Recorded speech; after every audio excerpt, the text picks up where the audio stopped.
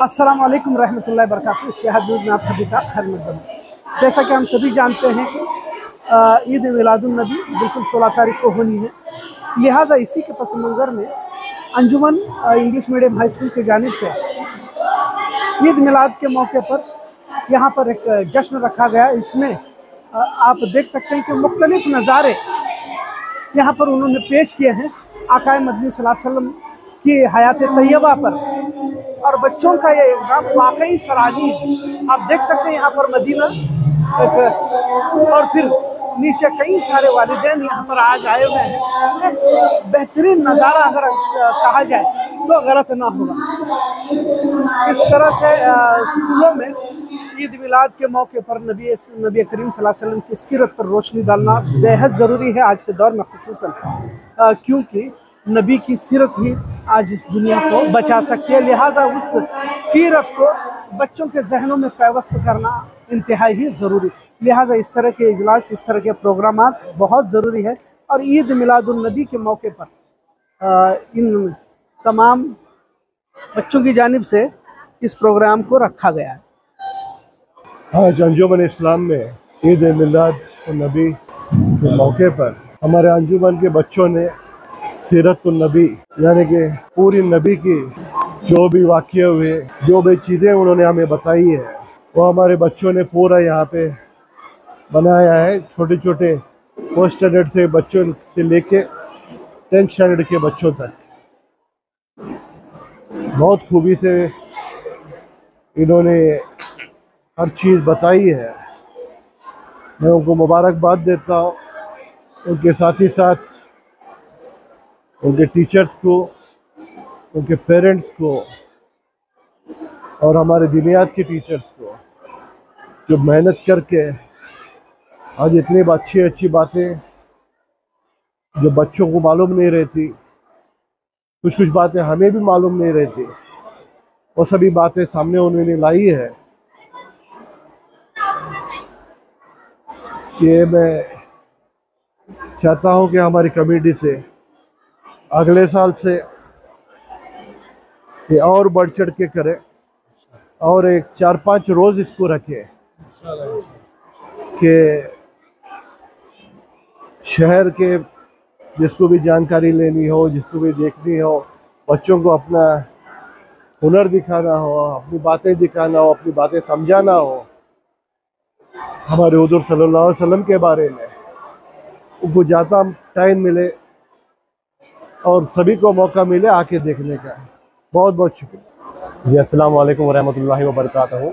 آج ماشاءاللہ ہم انجمن کے انگلش میڈیم اسکول میں سیرت النبی صلی اللہ علیہ وسلم کے اوکیشن پہ ایک سیلیبریشن ہے جو ہمارے نبی کریم رسول اللہ صلی اللہ علیہ وسلم کی زندگی کے بارے میں ہمیں جو بھی جو بھی انہوں نے کیا جو بھی ان کے ساتھ گزری ہے، جو بھی انہوں نے ہمیں سکھایا ہے، یہ سب کچھ ہمیں آج ہمارے بچوں نے دکھایا ہے پھر سے، کیونکہ اکثر ہم بھول بھی جاتے ہیں کہ کتنے اہم شخصیت تھے ہمارے نبی کریم رسول اللہ صلی اللہ علیہ وسلم۔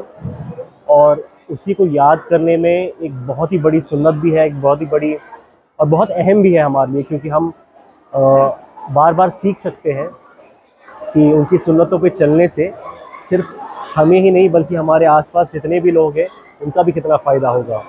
اور ایک پرفیکٹ ایگزامپل بھی ہے دین اور دنیا کو ملانے کا، کیونکہ جو اسکول میں آپ دین کے بارے میں کم سیکھ ہوتی ہے تو ایسے اوکیشنس ہوتے ہیں، ایسے دن ہوتے ہیں جہاں پہ دین کے بارے میں اور معلومات ملتی ہے اور دنیا کے بارے میں بھی بہت اہم ہے سیکھنا، کیونکہ اس کے بنا ہم اس دنیا میں سروائیو نہیں کر پائیں گے۔ تو ایک بیلنس رکھتے ہوئے ماشاء اللہ ایک بہت ہی اچھا فنکشن ہے اور انشاءاللہ ایئر بائی ایئر ایسے ہی بڑھتے رہے گا۔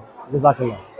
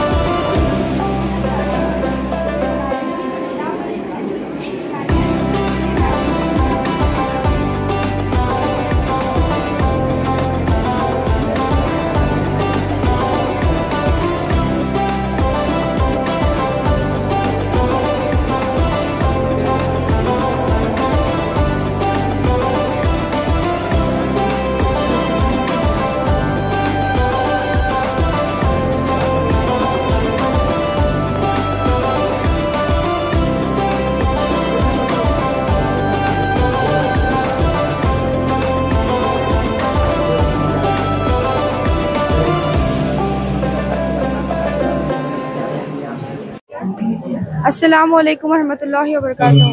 آج میں آپ کو جنگ بدر کا ایک بہت اچھا واقعہ بتانے والی ہوں، جو کہ سن دو ہجری میں رونما ہوا۔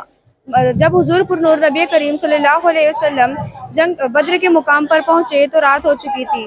تو مدینہ کے قائم کردہ عقائد کے تحت یہ طے پایا گیا کہ صبح جنگ ہوگی، لہٰذا رات بھر آرام کیا جائے۔ صبح جنگ ہوگی یہ جان کر کسی کو بھی گھبراہٹ ہوتی ہے، جیسے کہ مشرقین مکہ جو کہ کافر تھے، ان کو نیند نہ لگی۔ جیسے کہ وہ تین سو تیرہ نہ ہو، ایک ہزار ہو۔ اور وہیں صحابہ اکرام مارے خوشی کے جھوم گئے کہ نہ جانے کس کی قسمت میں جامع کوثر نوش کرنا لکھا ہو۔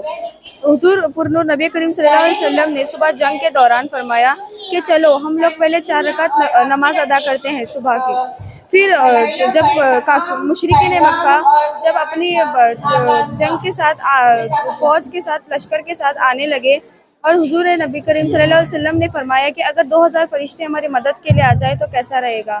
اور تو صحابہ کرام ہمارے خوشی کی جھوم اٹھے۔ پھر آخری بار حضور نبی کریم صلی اللہ علیہ وسلم نے فرمایا کہ اگر پانچ ہزار فرشتے آئیں تو کیسا رہے گا؟ تو سہرے صحابہ کرام نے کہا کہ اگر ایسا ہوا تو ہم کافرین پر غلبہ پا جائیں گے۔ اور ایسا کہنا ہی تھا کہ اللہ نے ساری فوج بھیج دی اور یہ انہوں نے جنگ جیت لی۔